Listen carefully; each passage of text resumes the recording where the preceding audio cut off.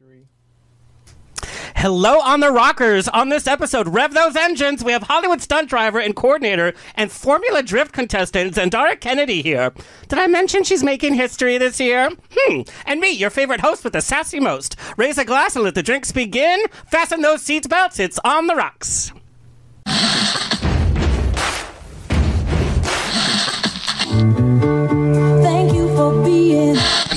Life is a banquet, and most poor suckers are starving to death. I'd like to propose a toast. This is On the Rocks with Alexander, where I drink with your favorite celebrities as we talk about fashion, entertainment, pop culture, reality TV, and, well, that's about it. So pop a cork, lean back, and raise a glass to On the Rocks. Fasten your seatbelts. It's going to be a bumpy night. Lord have mercy, buns and bows and pantyhose. On the Rocks podcast, a place where we're too glam to give a damn. Follow us on Instagram and TikTok at On the Rocks on Air and on Facebook On the Rocks Radio Show. Send me an email. Book me for a pride, wedding, funeral, quinceanera, bris. I don't care. I'll show up. Info at OnTheRocksRadioShow.com. The show's presented by Straw Hut Media. You can watch and or listen to our now over 300 episodes at On the Rocks Radio OnTheRocksRadioShow.com for free. You can watch us on Apple TV, Roku, Amazon Fire TV on the OutAt.TV app, Facebook Watch, streaming with Pride on SVTV, and on Channel 31 on the East Coast. Hello, East Coast. Alrighty, let's get the show on the road. I'm so excited to have this amazing woman in studio, by the way. Zandara Kennedy, with her stunt driving work on X Men, Deadpool, Triple X, Riverdale, Supernatural, Fear of the Walking Dead, The Bold Type, Lucifer, Nancy Drew, and many, many more. She has gained notoriety by succeeding uh, in the male dominated world of professional stunts and motorsports. Oh, she looks gorgeous right there. her stunt work has been featured in many major motion pictures, television shows, and commercials, marketing brand names like Audi, BMW, and Mercedes. She has stunt doubled in driving scenes for actors like Anne Heche, Uma Thurman, Gillian Anderson, Natalie Ava Marie, Peyton List, just to name a few. She's an advocate in the motorsports and stunt industry and an ambassador for Racing Pride. She wants to make work more accessible to underrepresented groups, women, people of color, and people with disabilities, um, and also LGBTQ. Hey, girl. Uh, she has earned trust and credibility in the industry and is a professional expert with licenses, certifications, and extensive training in drifting cars, rally racing, motorcycle riding, acting, combat, weapons grappling, sword, free diving, and tactical firearms. Woo! I'm just naming a few, by the way. Imagine going on a date with her. I'd be like, um, she is one of Canada's top precision drivers and the only Canadian woman to earn a Formula Drift PROSPEC license. What does that mean? I will let you know on this episode. Last year, she completed a 20,000 mile tour of the U.S. and drifted at over 16 different racetracks across the U.S. in preparation for the world's highest level of drift competition that's coming up called Formula Drift. She will be uh, competing as one of the only, as uh, only a uh, one of only a few women. There we go. The only openly queer person and Canadian to compete. That is a lot of pressure. not to put that on, on her, but so excited, like I said. Uh, wait till you hear about her journey. Um, it's very, very special. And talk about kicking your own ass and doing it. Let's take a look at Zandara's driving for Hollywood. Let's just take a little peek. It's time for some action. It's time for some action. It's time for some action. Give me satisfaction. It's time for some action. It's time for some action. It's time for some action.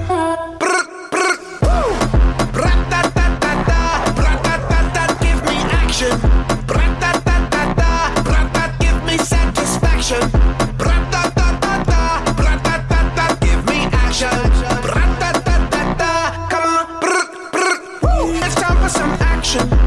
Give me satisfaction. It's time for some. It's time for some. It's time for some action. It's time for some action. Give me satisfaction. It's time for some. Bra-ta-ta-ta, Give me action. Give me satisfaction.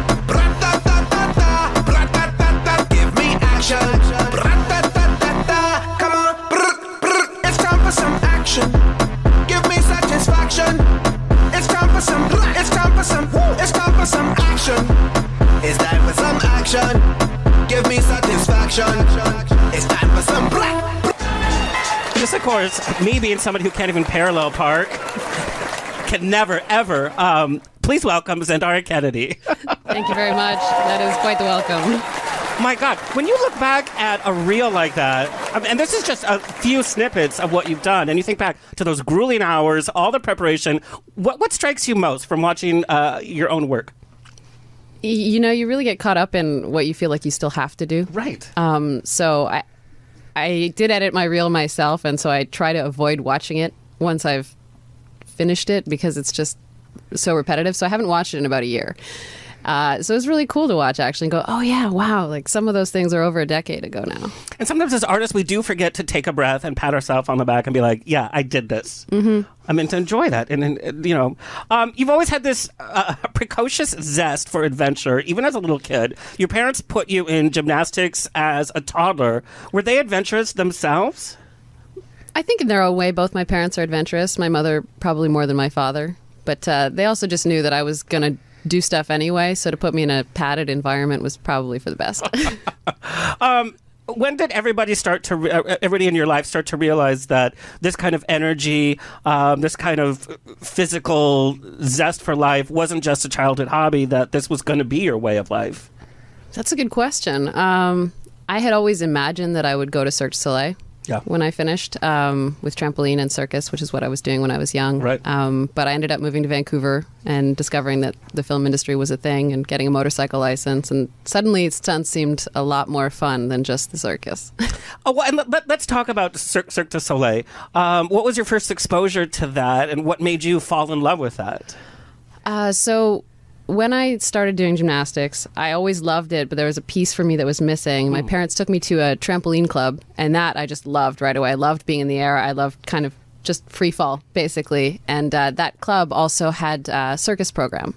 And one of my coaches there had been in Cirque du Soleil almost right at its inception, very early on. And so I also did acrobatics and contortion and I was the smallest kid there, so they always put me on the top of the pyramid, and I just loved that. So I wanted to do that all the time. you've never lost that kind of like sense of like free fall and and and a little bit of drama in, in what you do maybe gymnastics wasn't dramatic enough for you you know, I, I really love pushing limits, you know, mm-hmm. discovering my limits, and also doing things that seem like they would be impossible.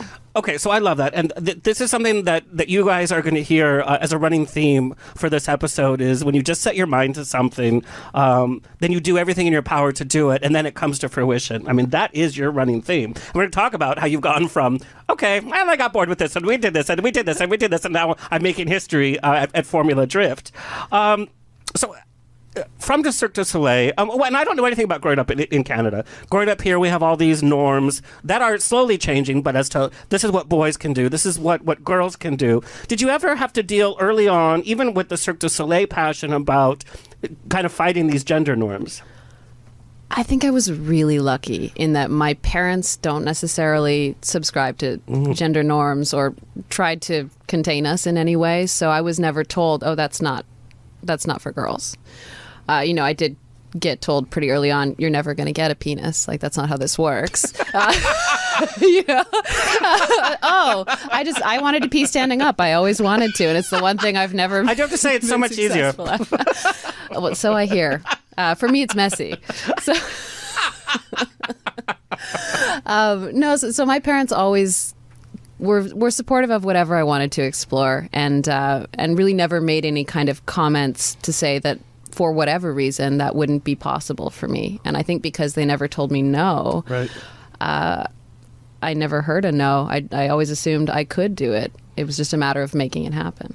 Well, and that's so special because parents sometimes will say no out of fear for their child, such as fear of being on a trampoline or being at the top of a pyramid, but also no and having to fight your life against gender norms. It's like, well, I want to protect my kid. And so some parents say no out of fear um, and out, out of love. I think that's a very normal, natural reaction to love somebody and want to protect them, but it definitely can, for a lot of people, constrain them to a box that maybe they don't belong in. Right, right. Um, so at age 14, your dreams of Cirque kind of came to an end.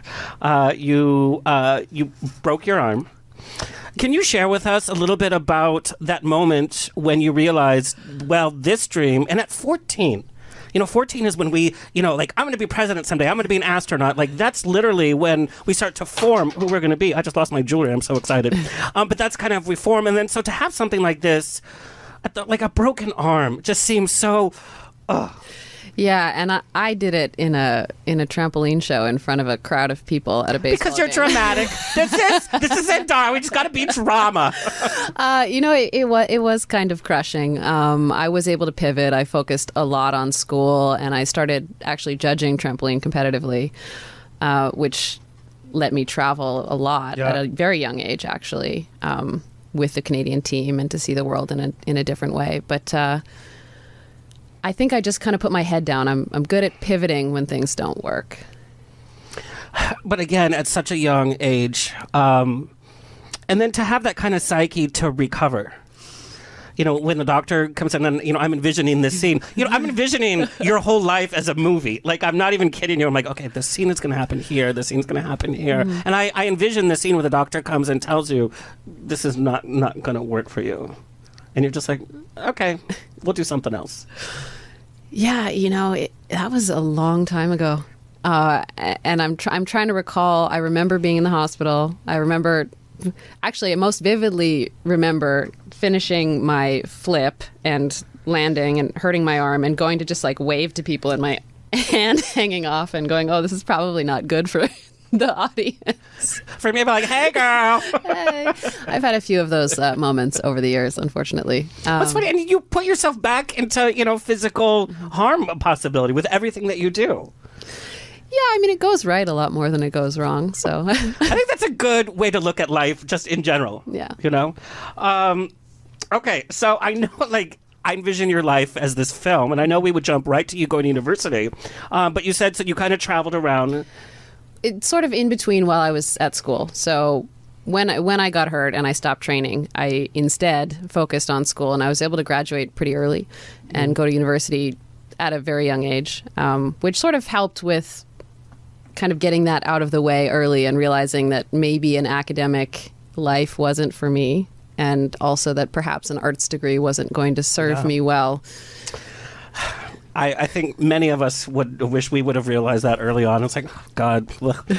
um, so this is this is this is part of your life myth, and I want to know if it's fact. Uh, but you got your motorcycle license to be a courier to pay for stuff as a student, and by way that you ended up in in in Hollywood, so to speak. Tell us about that journey. Uh, well, um, so I got my motorcycle license, A, because I just really had always wanted it. Uh, and then I got a job as a motorcycle courier, and I was uh, living in a in a loft building with like three friends in a giant loft, and it was awful. But uh, I had three motorcycles parked in my parking spot because my brother had a motorcycle, and my other friend that I lived with had a motorcycle, and you can fit four in a spot. And so I was away, and this person left a note on the motorcycle and I just said, "Hey, like I'm looking to park my bike. Let me know if you have space."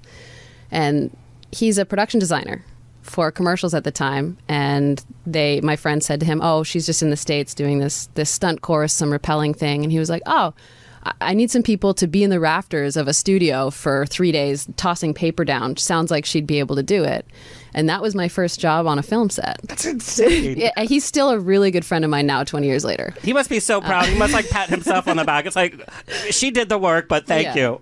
He- I, we definitely have some some chats like that. But yeah, that was my first exposure to the film the film world. Now, the film world, being a stunt driver, um, the path for being a female movie stunt driver was not very clear. Um, you know, and this is before the time that everything is, you know, Googleable and all that. You had to do some some hardcore research. You had to figure out what other uh, women in your field had done in terms of training and education, who to even talk to, um, you know, from those that had come before you. So, where did you start? So I met some stunt women on set. A lot of them were former stunt women, which kind of made me clue in because they were in their early 40s and their career was over. And uh, I later learned be- through my work with the union that uh, the peak earning years for a stunt woman are roughly age 23 to 33, and for a stunt man, it's 23 to 43. Wow. So it's a, a difference of a decade. It's, Yeah. it's double the earning potential. And I noticed that those women in their 40s were at that point going, oh, maybe I should become a stunt driver. And a lot of the men were still working because they were doing driving and they had already had those opportunities. So that definitely seemed to me as a way to have more career longevity. Uh, and then I started looking at the women that I idolized and looking at their resumes. So Melissa Stubbs is a pretty big example of that. She was one of the top stunt women in Vancouver at the time. She lives here now. She's a second unit director, and I believe just a director as well. And she's had just an incredible career and really broke a lot of boundaries. So I basically used her resume as a checklist. But I, I love that, and that shows like I'm going to work hard and I'm going to have to do research on my own and make it work. Uh, we talked a little bit. People come to LA, people come to Hollywood, and they think things are just going to fall into place, or they need to go on one audition. It's like no. Sometimes you have to pound the pavement. Sometimes you have to pick up the phone and be like, "Hey, can I take you out for a cup of coffee just to just to pick your brain?" You know, it kind of takes that that homework. Um, you attended motion picture driving clinic at the age of 19. um, becoming also one of the youngest stunt coordinators in Canada. Can you tell me what it was like? And I'm vi- envisioning again in your movie, I'm envisioning this driving clinic that classes started and you come in late and you just flip open the door and you have these aviator glasses and like I'm here for school. what was your first week at this clinic like? So, Motion Picture Driving Clinic is a very well known uh, driving school that actually takes place 90 miles north of here at Willow Springs Raceway. And for about at least 30 years, it was run by Rick Seaman, who's a very famous Hollywood stunt driver. And pretty much every stunt person of any note takes Rick Seaman's course. Um, so, it definitely wasn't me walking in all cool, being like, oh, yeah, I got this. But, uh, but no, I, I got there. Um, I did my first three day course, which was, you know, sliding 90s and reverse 180s and forward 180s. And I just loved it. And it, it seemed to come to me pretty naturally.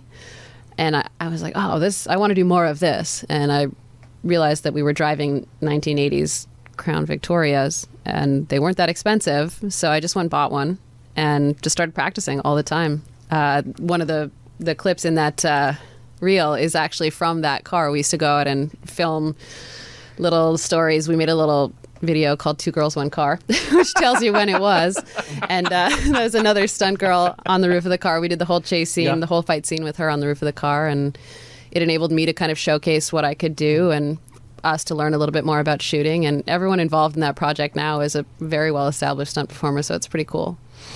Now, walking into that clinic, um, did you feel this kind of energy that, like, oh, she's a girl, she's a girl, she's a girl, she's a girl?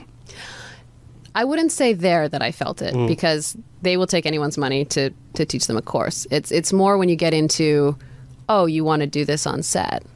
You know, what is your qualification? Because, like I said, everyone has taken that one course, and it and it leaves you with a a basic skill set, but that doesn't mean you can do it under pressure on camera when it really counts. Little, little did Rick know. Um, what came naturally um, during this clinic? And I, you know, I just love because this is like you were so young. Um, not that you're, I mean, you know, um, but like what what came naturally? What what stunts came naturally? And what was your biggest challenge? You're like, oh, I'm surprised this is not coming so quickly to me. You know, it, it all just made sense to me. It, it really always did. And so a lot of the exercises that we were doing were like, you know, slide a 90 into a box made out of cones. Get as close as you can to the pylon without knocking it over because that's a camera. It just all made sense to me how the how the speed interacted with your aggression and all of it. It just it was something that just felt really natural to me. I loved being sideways. I loved the the broken traction. It's the same as being in the air, I guess. And it's one thing to feel and know your own body in terms of stunt and in terms of gymnastics, but when you're in a vehicle, there's so many other components. You have to feel like the weight of the car, the length of the car, all of this. Um, and I guess you just become one with a car, like a, a horse rider becomes with their horse. And it just you just were able to do it. Yeah, I, I- I definitely get that feeling more easily on a motorcycle. I think many motorcyclists will describe that, and that's definitely my number one. Like, if I want to feel free, I go for a motorcycle ride. But I have learned to connect with many vehicles in the same way. And when did you uh, first start to realize that maybe your career would be limited by being a female in, in this industry? When was that first kind of, not slap in the face, because that's very aggressive, but like, oh, why is this an issue? I think it was right away. Uh, So, as I was pursuing stunts, a, a traditional path, if you aren't related to anyone and don't get scouted for some one specific special skill, and I was not one of those people, uh, is you do extra work, right? You try to get on set, get set experience. And I met a lot of women, like I said, who were former stunt women or who had stunt credits. And I was looking at, well, what changed? Why are these women now doing extra work? I thought that stunts was like a Yeah. a pretty high end career, and you wouldn't have to be an extra at the end of it.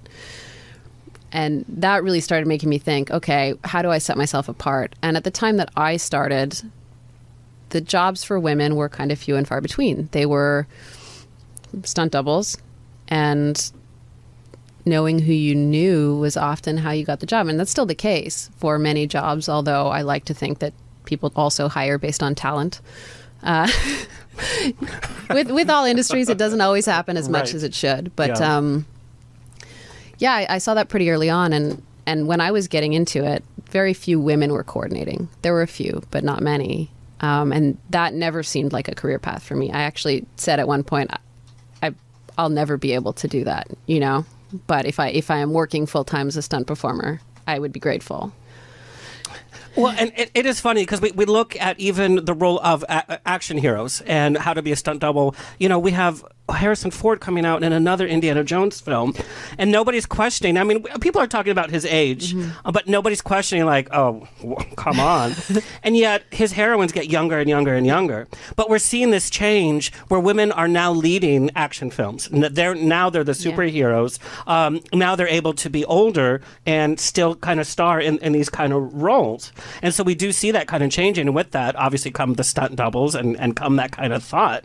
But God, it's taken a long time. It has, and and the other piece as well is if you look at diversity Yeah. on camera, right? Uh, we had a sudden push, thankfully, within Hollywood to really see more real diversity instead of just tokenism Yeah. on camera. And what that meant was suddenly we had action for a much more diverse set of actors, and we maybe didn't have the stunt people that matched those actors that had the same level of experience. And so within the industry, we really had to try to bring people up. And driving is a really big example of that. I mean, not even 15 years ago, I remember being on set and watching a man in a wig do Yeah. a car crash Yeah. for a female character on a show he was coordinating because he wanted the job. And I remember seeing so many behind the scenes stuff because I'm fascinated with the behind the scenes, Yeah. and it's always the big joke of the blooper reel or the whatever is seeing the guy in the wig. Mm-hmm. That's that's the stunt double because uh, apparently a woman can't do that. Well, a woman traditionally women weren't given the opportunities to build the skills to be qualified to do it. You know, I I really took the approach of if I become qualified enough, they will have no choice, Mm-hmm. right? Uh,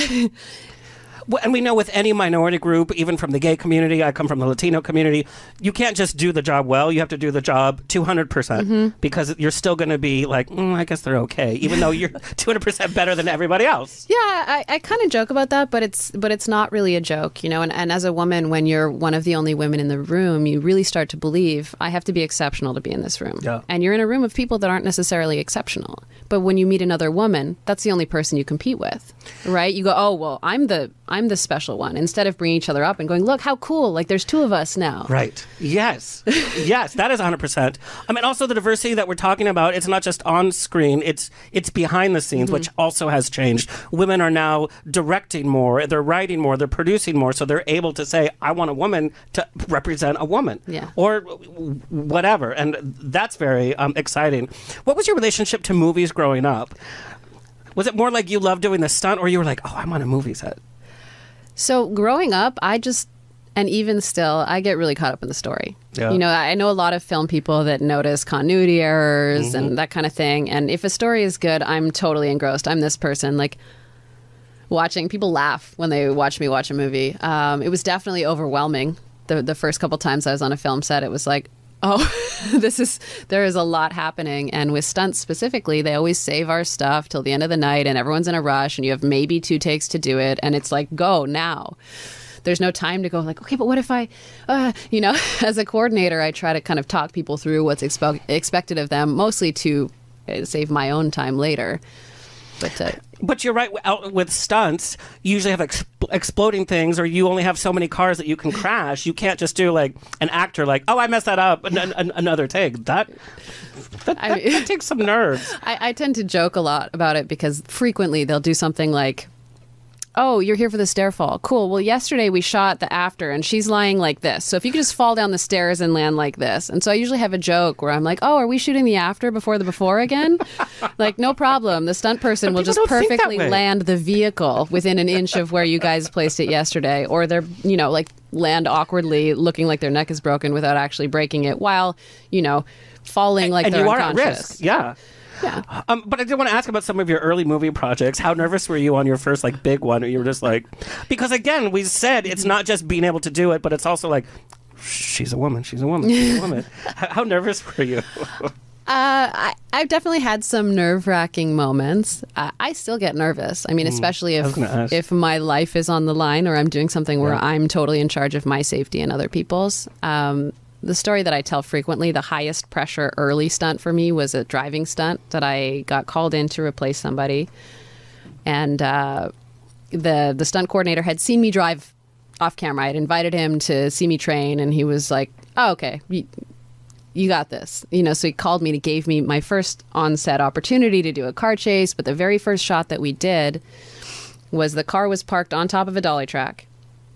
I was facing the camera. I had to do reverse off the dolly track, do a reverse 180 and peel out. Cool. So that was great. Okay, don't run over the dolly track, hit the camera, whatever, no problem. And then they're like, "Oh, by the way, this other stunt coordinator who doesn't talk to you because you're new, he's going to be lying on the ground in the direction that you're spinning the car, just there. And I was like, okay. And then I overheard that guy talking to my boss and saying, I'm not, I'm not lying there. I don't know her. I'm not lying there. And my boss was like, no, you are. That's the shot. and I remember sitting in the oh car God, going, I'd probably just throw up right then. I was there. like, okay, so either either you get to work again or you'll never work again. Like if you if you fuck this up, this is it. So don't. And I didn't, and I did well, and here we are. You this know, is the kind of woman you are. Like this is your life story. It's like, okay, I guess we're just gonna do it. Well, uh, the, to me, the worst thing you can do is back out of a commitment. I feel that Yeah. way about all kinds of commitments. Yeah. But when it comes to set, if you said you could do the job, then do the job. What do you do afterwards? You're like, okay, bye everybody, and then you go in your trailer, just like, wah. it depends. If, if it's something like that that's really high pressure, I definitely get pretty high. Like I, I want to hang out with people after because it's Yeah. You know there's a huge adrenaline ju- uh, dump that comes afterwards. And I can imagine, even though you're working like on a film team, but when you're doing a stunt behind the wheel or you're coordinated, it's kind of a lone experience. You know, you might have people in your ear, but like all eyes are on you, but you're on your own. Nobody's like patting you on the back before, like it's gonna be great. Afterwards, okay, next. Nobody's like that was, you know. Yeah, I, I will say we get praise. So I like to say we, we get brought in. We do something super crazy, pretty much cool. Usually, People, everyone tells us we're awesome, and then we go home. Yeah. So that's like a good day doing stunts. But yeah, there are definitely moments I've had, and I know that any stunt person will identify with this, where you're attached to a wire, you're standing on your mark, about to go, and like three people are touching your face and body and Yeah. hair. Because that's all they care about. And then someone comes in and they hand you like a hard gun and go, sorry, we don't have a rubber and it needs to be here. And you're like, ah, but I, that's how I, I land there. You know, you have all of these things going on. Everyone else is just concerned about the shot. No one else is really going, oh, this person is probably quite nervous. And even if they've rehearsed it a bunch of times, they know there are odds they're not zero that something could go wrong and you could get hurt. So you're kind of sitting adjacent with that, and then you're remembering, okay, when they say action, you know, like I move on three, I do this, I have to make sure that I get here for one because I'm going on action. So it, it is busy, and you're right, it is a totally isolated moment. And I can imagine being new in the industry. When do you say, no, I mm-hmm. don't feel comfortable with this? When do you tell the director, no, we're not going to do this again? Especially directors. And like, directors don't get what it takes to be a makeup person or a hair person or a stunt person. Like, do it again, do it again. And it's like, a, a physical body can't do things over and over again. But being new, you also don't want to be difficult. Being a woman, you also don't want to be difficult. That's very true, and and that's where we really look to stunt coordinators to take care of both the cast and the and the stunt performers in their planning. I've worked with stunt coordinators that maybe don't do that as much, but a really good coordinator will ask you like, "Hey, how are you doing? Can you do it again?" I mean, a good stunt perfor- uh, performer always says, "Of course." Yeah. You know, but uh, the the pressure is internal as well, for sure. Of like, this is how a stunt person should behave. I should Right. I should act brave. I should be able to do this an unlimited number of times. But that is a risk, right? And and as a coordinator and as we as we push a little bit more into safety on set, that's a big piece of it is checking in with the performers and telling them if you don't feel comfortable, if you have a hesitation, tell me because I would prefer not to hurt you. I would prefer to change things if we can. And again, to say to a director, to a, a producer, like, sure, we can do this again, but it costs money because this is a human being we're doing it to. Right. Right. Um, what what moment in, in in your film career sticks out? You're like, God damn, that was a really fun Hollywood m- moment. So there's a there's a piece of driving in that reel from uh, the Atom Project where the the car is reversing through the trees, and it looks fake, but all of those trees are real. And it was one of the hardest jobs I've had to do. Um, we rehearsed it with cones. I we believed it was in theory possible, um, but the but the gap that I had was maybe six inches bigger than the car was bumper to bumper. And we did it eleven times because we were doing it with a cable cam, with an ultimate arm, and all of that. And on take number nine, there's a little reflector on the front bumper of the. It's not a Bronco, it's a Jimmy, I think. There's a little reflector on the front chrome bumper, and I shaved off just one reflector off the tree, you know. And I and I did say to them at one point, I was like, "You guys do know I'm a human being, right? Like, I am not a robot. It, it isn't. I can't just do the exact same programming every time. I did very close to the exact same thing, but." uh that one was really cool because watching it later, watching the playback, and just knowing, I was like, "Hmm, this is going to be really tough. Uh, I, I love those challenges and succeeding at them. And uh, you know, we know that we're in an age of CGI. You can still always tell there's there's just this energy that's just not there. Yeah. Um, and and you know, au- au- audience can can feel that. All right, how do you mentally prepare? Um, you know, it's it's like an actor has to has to get in the zone, but like the night before, you know, you're going to have one of those kind of days that you're just like, God.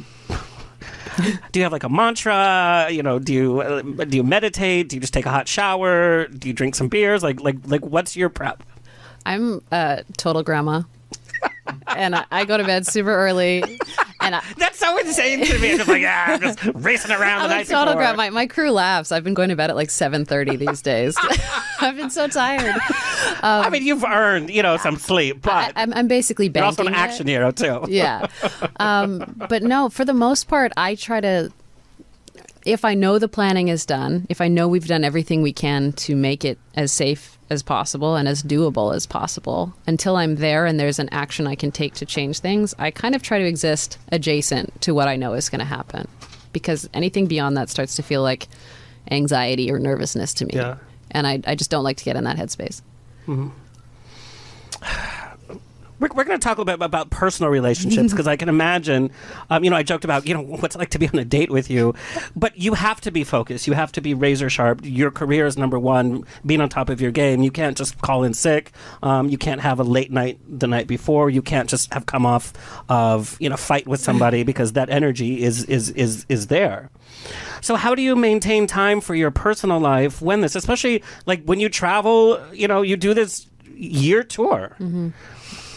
Uh, yeah, I wouldn't say I've done a really great job of that. Um, you know, some relationships are possible to maintain at a distance and and periodically. I have a really good friend group that are I'm really close with, and that I'm able to, you know, we talk on the phone when we're driving from place to place, or you know, we we check in with each other as much as we can. And my best friend flew to quite a few of my events last year, so that was really cool. Uh, she's awesome. She's a she's an engineer at Tesla. She decided to become an engineer at 40. So I love you know, her story is amazing too. But uh, but she's an inventor at heart, and she she made me. Uh, so with racing, you get really hot, Yeah. right? You're in a hot car. You're in three layer fireproof suit, and I was kind of out of budget, so I didn't I didn't want to buy. They make these like shirts that pump cold water through them. So she made me one out of a cooler and a bunch of Amazon pumps and some surgical tubing. A good friend. That is a very good friend. Yeah. I'd buy one of those personal fans. I'm like, does this work? Like, girl.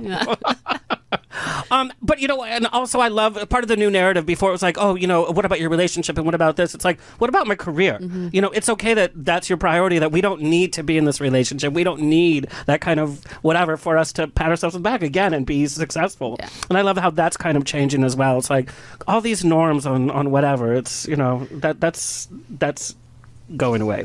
I think that if you can find the right person to be on the journey with you, that's great. People Yeah. are really lucky who have that. Um, I'm not willing to sacrifice my journey at this point. I, I wish like that was like like everywhere because I think a lot of people don't don't realize that that's a great thing to say and, and be. That doesn't make it uh, any less lonely. Of, of course, But- of course, But at the end of the day, knowing that we could have done something and we gave up something that was so Yeah. important to us for a person, Yeah. I really hope that person's there forever because Yeah. And if it's somebody that's right, they're going to understand certain things about your life. Yeah. Um, I, yeah, I, I love that. Um, okay, so tactical firearms, free diving, combat, fire stunts as well. Um, so let's take a look at Zandara outside of the car with with, with a few of these stunts. Uh, let's Get it see. It's time for some action. It's time for some action. It's time for some action. Give me satisfaction. It's time for some action. It's time for some action. It's time for some action.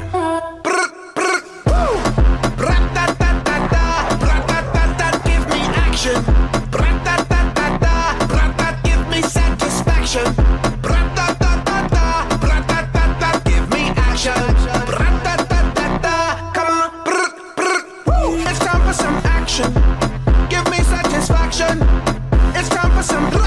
For some.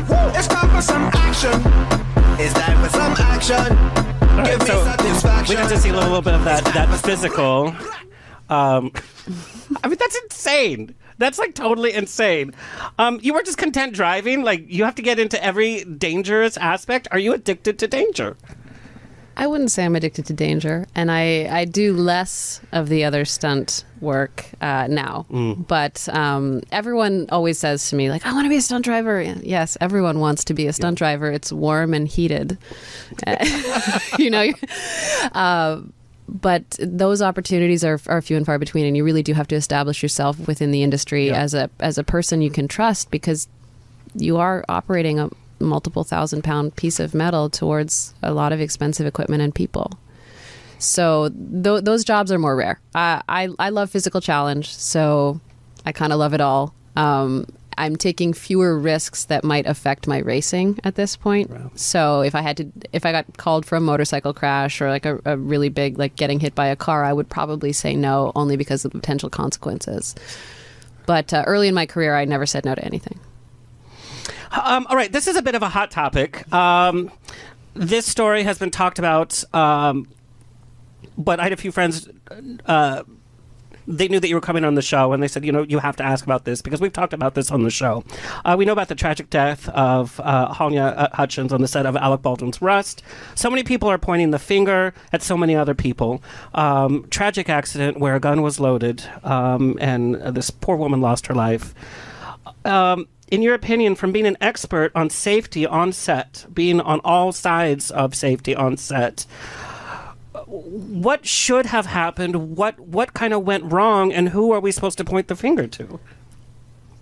Our industry has practices in place that were learned the hard way. Uh, Brandon Lee died on set in Vancouver. Right. You know that that happened. I know people who were on that set. I know another stuntman who actually got shot on his very first day on a film set. I mean, this was a while ago, but because of those incidents, our industry learned we have a set of practices, right, in terms of never never having a real weapon on a film set first and foremost. Always showing that the that the weapon is clear and safe. Never pointing the weapon directly at another human being or the camera or anything without protection. All of those protocols have been around for a long time and any if any of those had been followed this accident wouldn't have happened. There should never have been a real gun. It should never there should never have been real ammunition on a film set. And it, it regardless blank firing fake or not it should never have been pointed at another human being.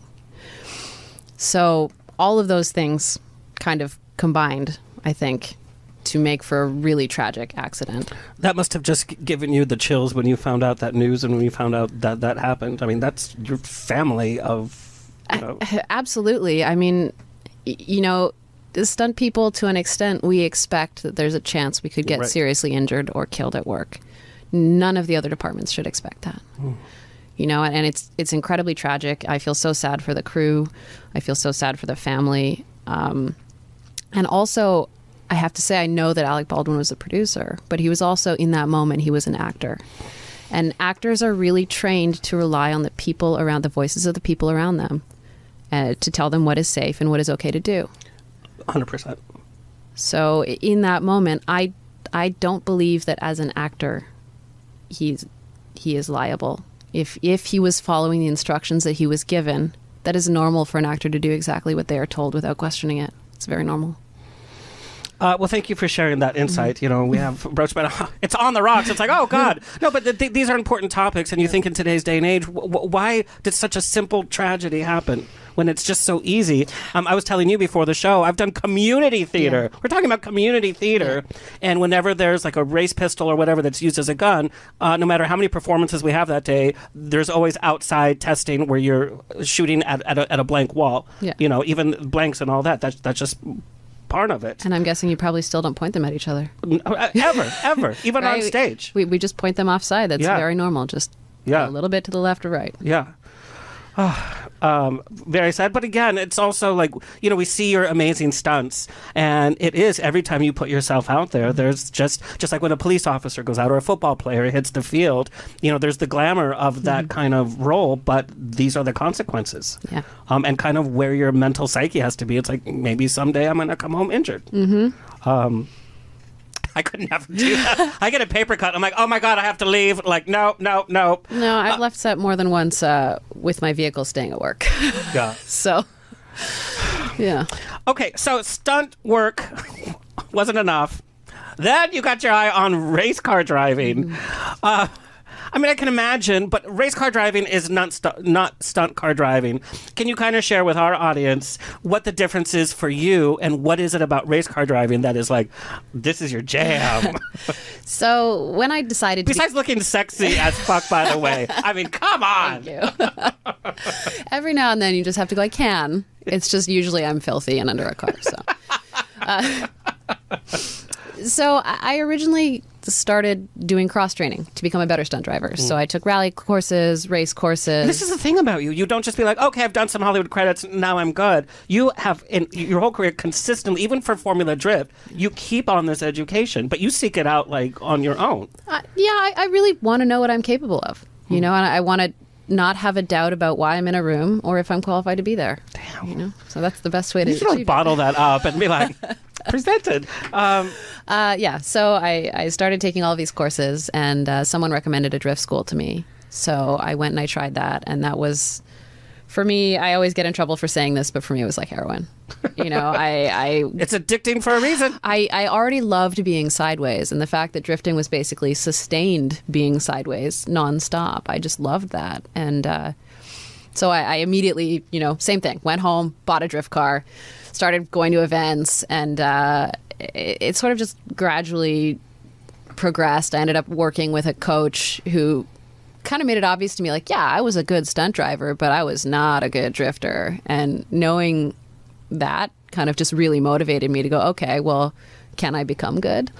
What were some of the things that made you a great stunt driver, but not a good drifter at, at, at the beginning? so i, I mean and this is still something that i've had to manage. Uh, on a film set you need to have a margin of error.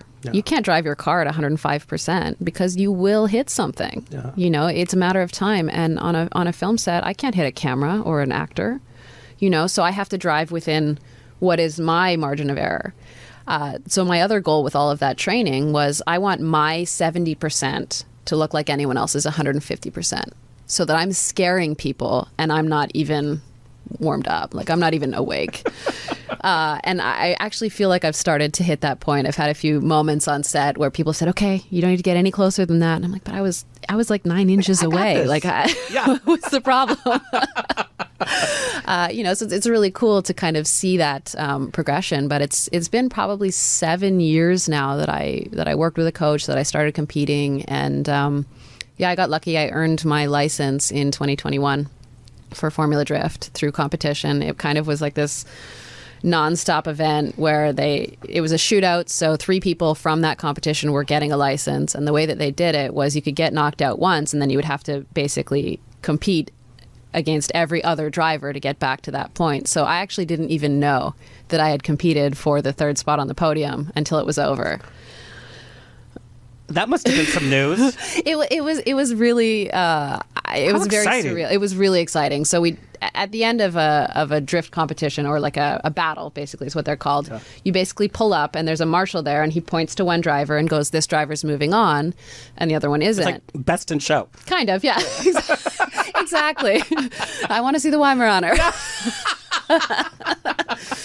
I didn't have my busy bee that day, but uh,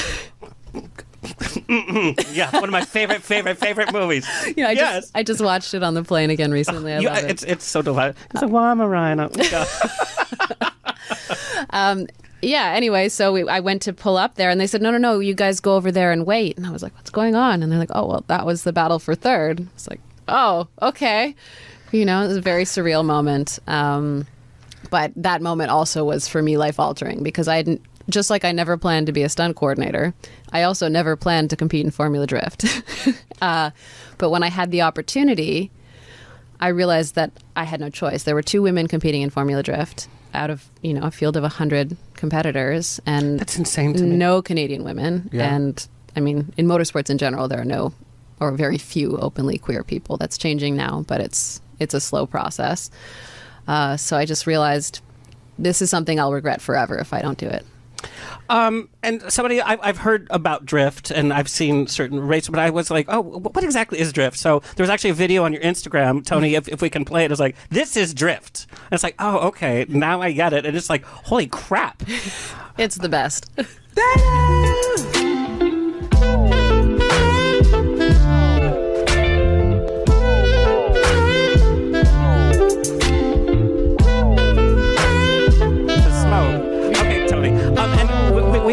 Before, um, and you're like, it, it happens like like this. So what exactly is like a drift competition? Is it? So you saw what I was doing there. Yeah. Uh, that would have been like a qualifying run. Got it. So every driver does the course that the judges have set out, which has some what are called outer clips, uh, out outer zones and inner clips. So outer zone, you need to fill with the back end of your car as much as possible, and an inner clip, your nose gets as close to as possible.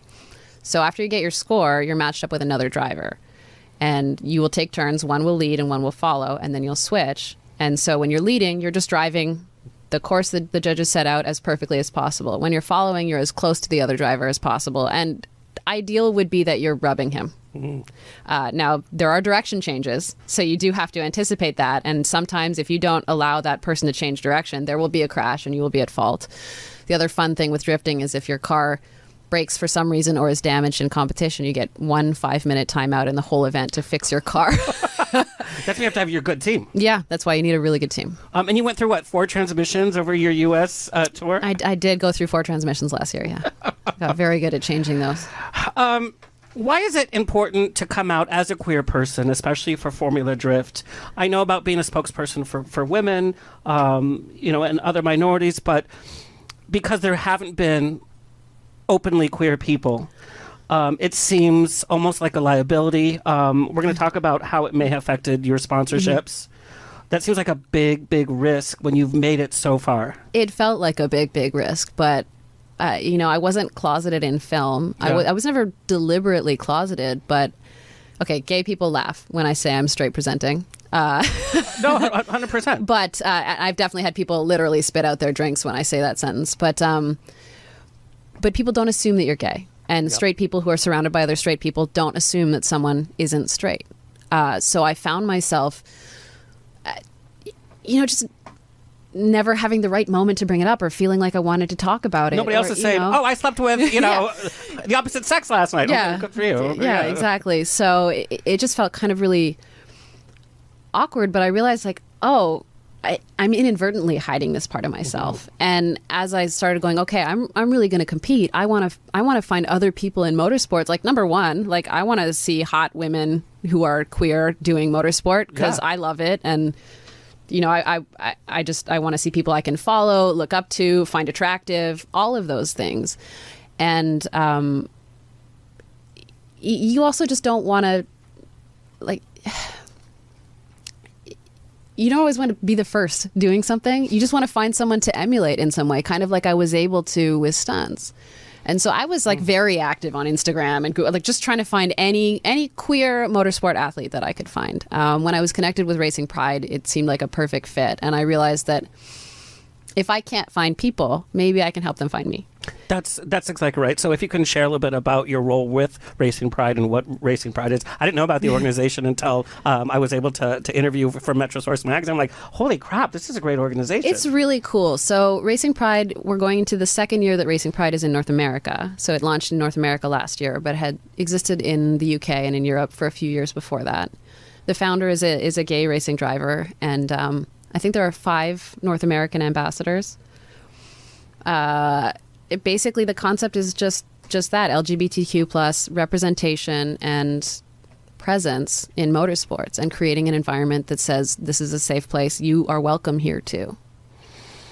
And that's so important for the younger generation growing up to see themselves mm-hmm. represented. And I, I can't imagine how scary it must be for you. And we also know the industry is so big, there are queer people in this industry. Oh, there are, and They just don't feel it's safe to come out. Well, that's the thing, right? And or maybe you know, it's daunting, right? Yeah. Even for me going, okay, I'm going to I'm trying to seek sponsorship from all of these red state companies that fundamentally I believe don't agree with just who I am as a person or have a problem with that. That's super scary and I don't know why a young person who hasn't experienced a ton of rejection already and is kind of insulated to it would go out of their way to experience that. and we've seen this kind of and uh, uh, so i guess my question is because we've seen this happen in you know in, in sports in different sections like tennis players are coming out football players are coming out hockey players are coming out as bisexual as as gay um, as as questioning. Um, and so there's this, there's this wave but why in the racing industry when somebody is alone in their car and they're racing or they're drifting why is somebody so threatened by people of the LGBTQ community? How does it even affect them? Football stuff, I, I can understand. You're in the locker room. We have these assumptions of gay men are just like looking at every other man, like, "Rah, rah, rah," which if I was in the locker room, I would probably be like, Maybe. "Ah, ah." but, but in the car and you're racing on a racetrack, who cares? Why is there this resistance? I, you know, not being a person that's resistant to it, I can only theorize. Right. Uh, it seems to me like racing has this role as the hyper masculine sport. And I think that that's part of the reason why there's some resistance to women within racing. Um, because somehow, if you're beaten by a woman or a gay man, you're less of a man, maybe? So I don't know. I will say this. I will say that I do understand that that thinking. yeah, I, I, that is a guess. To be fair, my experience has not been that. You know, I, I haven't experienced a lot of direct criticism for being female or for being queer. I've had some people reach out and ask how they can be supportive. Mm-hmm. You know, and I have heard later, you know, like many years later, my coach told me some of the things that people said behind my back in, in my early competitions about me being female. But to my face, very little. So. You know, I come from the generation of, you know, taunts on the playground where you throw like a girl. When I mm-hmm. got my license, oh my God, you drive terrible. You drive like a girl, you know, or you know, that's so gay. If you miss something, mm-hmm. oh my God, that's so gay. And so there is this where you're not successful if you are either either either one of those. I will say I encountered the the strangest kind of like backwards homophobia when I was doing stunts, and uh, some of the coordinators found out that I was gay. They were like, "Oh, well, that makes sense. I mean, gay, gay women are just like way more competent and tough, you know." And, and I realized, like, ah, it's probably easier for a queer woman to be in these very male spaces than for a gay man Yes. Yeah. be- because in a way I've definitely experienced uh, like cis straight men looking at me and going, "Oh, oh, you're one of us. Okay, you know that makes sense. That's that's cool. You know that there's less of a threat there." And I could even see as I, I can see an actress um, bonding with uh, with a queer woman as their stunt double, whereas Indiana Jones, knowing that his stunt double was gay, be like, oh god, you know, Yeah. yeah, hmm. Th- There's so many like facets to this, and there's so much history that's come before us from the very first film being made uh, to the very first kind of kind of kind of sports. Um, you shared in one interview about something about a sponsor, and the sponsor wanted to pull um, their sponsor because they didn't want to buy a pride flag or anywhere near this conversation. But it it, it, it kind of turned around. Can you share that? Because I, I I think it's a great story. Yeah, this this was a really um, this is a really hard moment for me. Uh, when I decided to work with Racing Pride, um, I didn't have a ton of sponsors at the time, but I realized I needed to approach all the sponsors that I did have and just say, "Hey, this is something that I'm doing. Uh, that's not negotiable. I totally understand if you don't want to be involved, but I want to like forewarn you and and let's just have an adult conversation about it." God, that must be so difficult.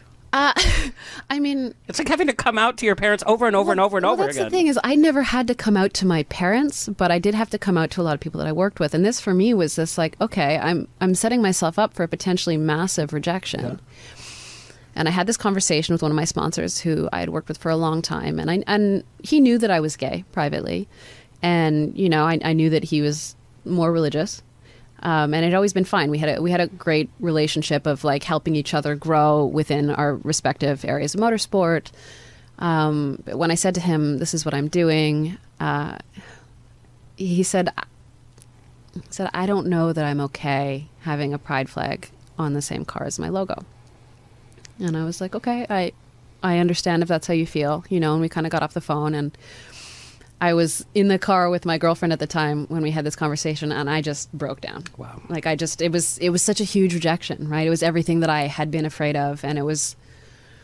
It's so like to be rejected for something that is just a fundamental piece of who you are. That you uh, can't help. uh, you know that it, that is the thing so many of us have experienced or feared experiencing and i just went okay well you know i gave him the chance and I, i'd rather know this way privately you know and uh, what was cool about it was a day later he called me. And he said you know what? I've thought about it. And he's like i don't care. I just want to work with you. I, I love what you're about and I, I love your mission and I, I don't care. And it was just that for me was really cool in a number of ways. It didn't take away what I had already experienced 100%. at all, but And you don't need anybody's validation no, as well, but but but knowing knowing strangely like knowing that everything else about me made him change his mind about this thing that was fundamental for him it did feel really good. And it did kind of give me hope. And it, there's that piece of like uh, you know like being the good one Yeah. right? Like I I feel like in a way when you are a straight passing person or when you are like a a minority that can turn it on and off uh, you have an opportunity to be a kind of Trojan horse. You know, n- not in an insidious way, but just by being who you are and and showing people like we are real humans and good ones. You know, and and this piece of us doesn't make us fundamentally bad. But the only way that people can can kind of come to that conclusion for themselves is by having these real experiences, these human moments. What I love about this story, there's there's a few pieces of the story, and that's why I wanted you to share. Um, number one, I love that this person that you talked to actually sat and thought about it. Yeah.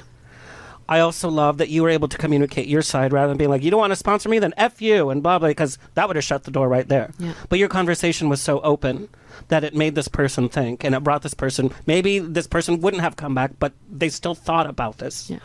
And I know right now what's happening in our nation, we're so angry with each other. We're not having these conversations. Mm-hmm. But I also know, such as, you know, he or this sponsor knew that, that you were gay in your personal life you know, there's an attack on the trans community, there's attack on the drag community, there's attack on the gay community, um, and people. Our neighbors, our family members know that we're gay, but they're not coming to defense. They're not posting on social media. They're not having the conversation because it's not affecting them. They'll watch our drag shows. They'll come to the gay bars. You know, they'll let us bring our boyfriend for Thanksgiving or whatnot, but they're still not defending us. And so sometimes we have to say, you are going to put your symbol next to my pride, pride flag, or we're going to have this conversation. Yeah. Um, and so that's what I love. And this is that kind of courage that you've had. You've like, I have to do this because this is my path, regardless of how how damaging it might be or how hurtful it, it might be. And you've just done this. Yeah, I, I'm not good with the self preservation, I think. Because I definitely choose a lot of suffering, that's for sure. Um, okay, Formula Drift. Um, now, what is it? It's not just one competition. Um, it's a few competitions. So, kind of run us through what Formula Drift is, how soon it starts, because it's around the corner. It is. Uh, so, Formula Drift is going into its 20th year. It's a very young motorsport, 20th year in North America. And um, it, it has two levels of professional drifting. So, there's pro and there's PROSPEC. Yes. Uh, PROSPEC is sort of the entry level to pro. You have to earn that license through competition, and that's the level that I'm competing at with two other women and 50 other men. 52, I think. I went to the website and I was like, there she is. And I was like, okay, women, women names. I'm like, Yeah. jeez. Yeah, not many. Uh, there's never been a woman on the podium in PROSPEC, and there's never been a woman to earn her way up to pro. Wow. So those are the those are the benchmarks that all three of us are pushing for. Um, but uh, yeah, I'm, I'm very excited. The first round of pro, so pro has eight competitions, and PROSPEC has four. So the first round of pro is this weekend. Uh, I've actually, I've My actually, heart just started like beating like a minute. I've never been to Formula Drift because I've always been busy working or training. So I'm attending this weekend as a spectator, Yeah. and that's going to be my my first experience, knowing that three weeks later, That's insane. yeah, I'll I'll be in Atlanta for my first round. Wow. I don't know if I'd want to check it out before. So I- I'm working with uh, someone named Matt Field. He is the last year he was the second ranked driver in pro, and uh, his company Drift Cave is a shop in San Francisco or near San Francisco, and they have been preparing my pro car, and they also helped me rebuild my other car that caught fire two months ago. uh, so um, Matt has like a really dialed setup. Um, and he's going to be transporting my car, and I'll be in his pits. So part of the reason that we're going, myself and two of my crew members, is to kind of just go and spy and see how everything is run in those pits. So we're not in Atlanta getting set up and trying to figure out Yeah. where everything lives and what it looks like. And I just want to get all the like. Oh my god! And that You know, energy and the crowd and- it's huge. Yeah. It's it's huge, and I, it keeps becoming more and more real for me. And strangely, even though I've done the kind of things that I've done under pressure on on camera on film sets, this is different. Uh, well, I'm very, very, very excited for you. Um, wishing you the best. We definitely will, will will be watching.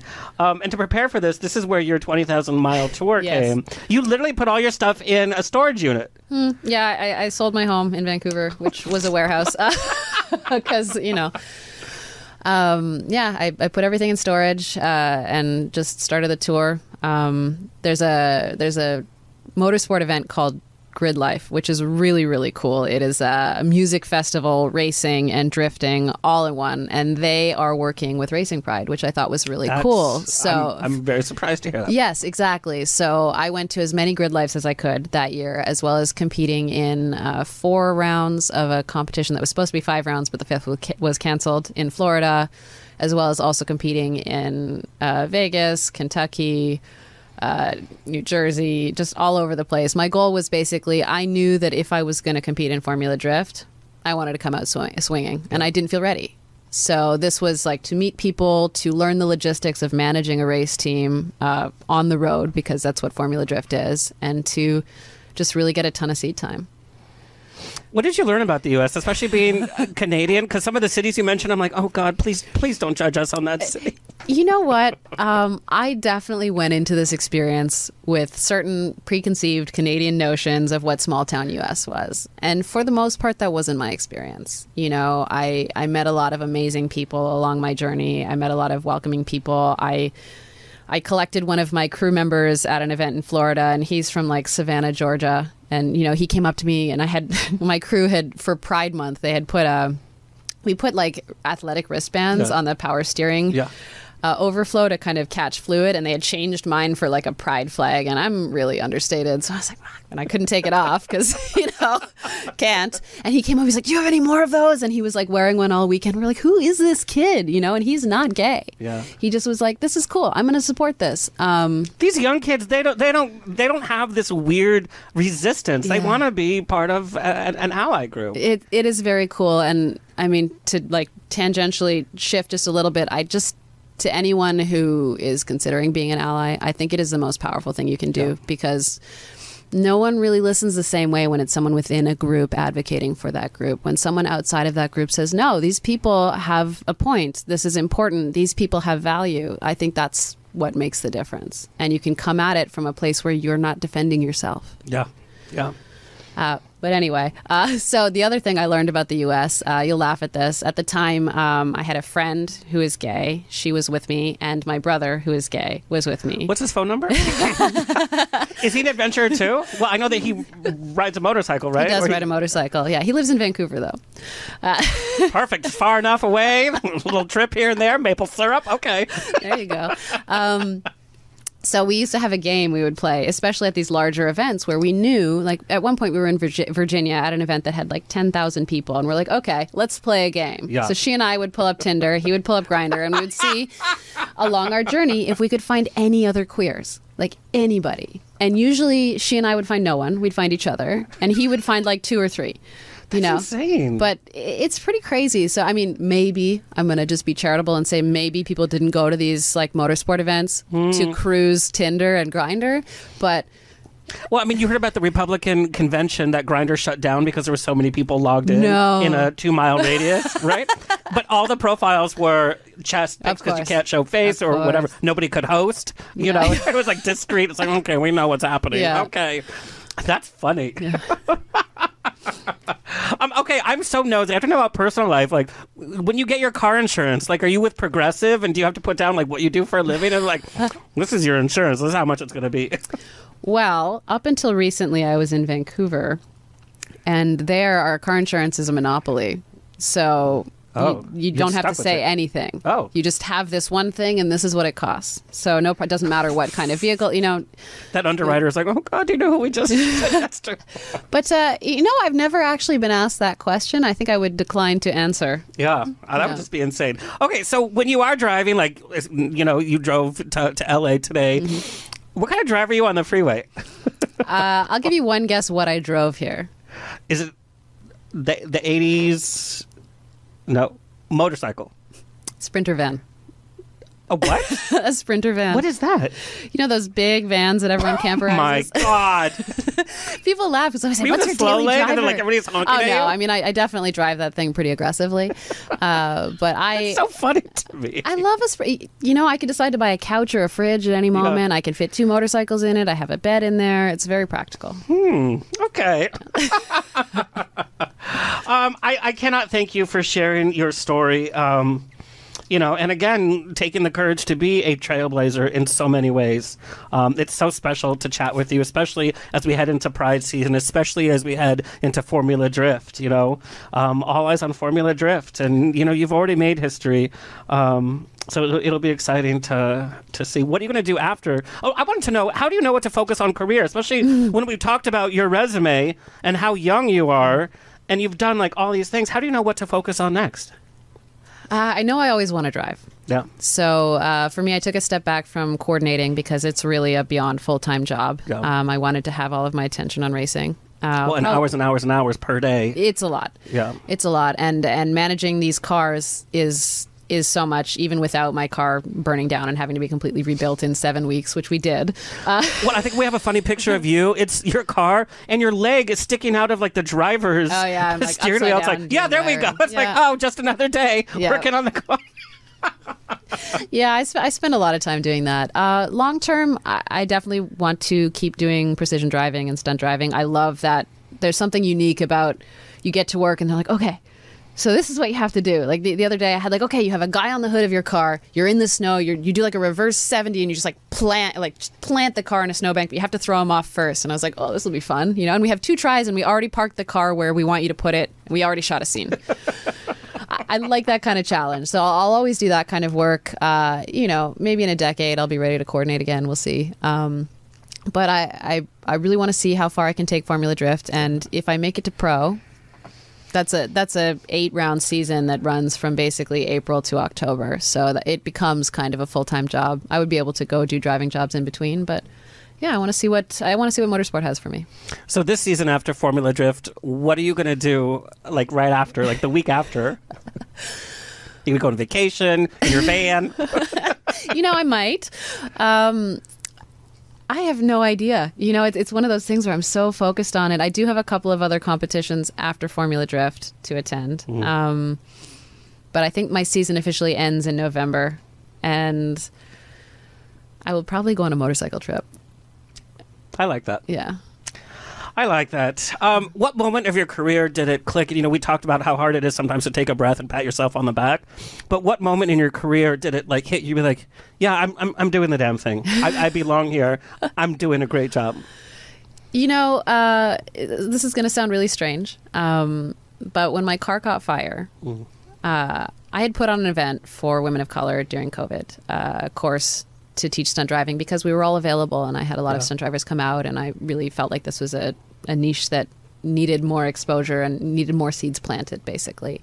But when my car caught fire, um, those stunt women who trained with me basically took up a collection. And like all of them just sent me little bits of money you know just like hey we're thinking of you. We're so sorry what happened to your car. And and someone said to me we need you to be doing this because you are inspiring us. And that feels so weird to hear, but uh, but it really made me feel like okay, maybe maybe I've accomplished something here. You know, maybe I need to keep I need to keep pushing. So excited for you. Thank you. Thank you so much. I want to be in the grandstand with like a flag, like, yeah, you go, girl. Atlanta. I do love Atlanta. it's a good city. I do love Atlanta. Um, as we go into Pride season, what is your message to your fans? Call me. Uh, no, seriously, come come check out drifting. It is an amazing sport, and uh, at a lower level, there's a ton of ride-alongs available, and uh, nothing will make you scream without being touched, like being in a drift car. I, I can't even imagine. I very very exciting. Thank you, thank you so much for for coming to town. Thank you for for chatting with us today, and thank you for sharing your story. Thank you. Where can people find and follow you? Uh, I'm on all the social media as Z Drives, Z E E Drives. So Instagram, TikTok, that sort of thing. Uh, and then I have a website, zdrives.com. Yeah, and go to the website because there's videos there, there's gallery, and there's links to other media and, and other interviews that you've that you've given. Your piece, on entrepreneur, was was was really great. Thank you. Um, and you know, you kind of had your life story there as well. So, um, thank you. I'm so, I'm so glad we got to finally meet. Me too. All right. Uh, well, that's it, folks. It's always a grab bag, grab bag of fun here every weekend on The Rocks. Big thank you to our engineer, Tony Sweet, our social media clip editor, Alexis Mendez. Coming up, we have 80s icon Tiffany here to chat about her career and new music, by the way. Um, and she's going to stop off and she's going to spill some tea. She says she's ready to tell some stories from her time. So I'm excited for that. Please like, share, subscribe so we can continue bringing this fabulous programming coming your way. Until next time, stay happy, stay healthy, stay sexy, and if you drink, stay tipsy. This has been another episode of On the Rocks. Tweet me and slide into my DMs on Twitter and Instagram at On the Rocks On Air. Find everything On the Rocks for free at OnTheRocksRadioShow.com. Subscribe, like, review, and share. Until next week, stay fabulous.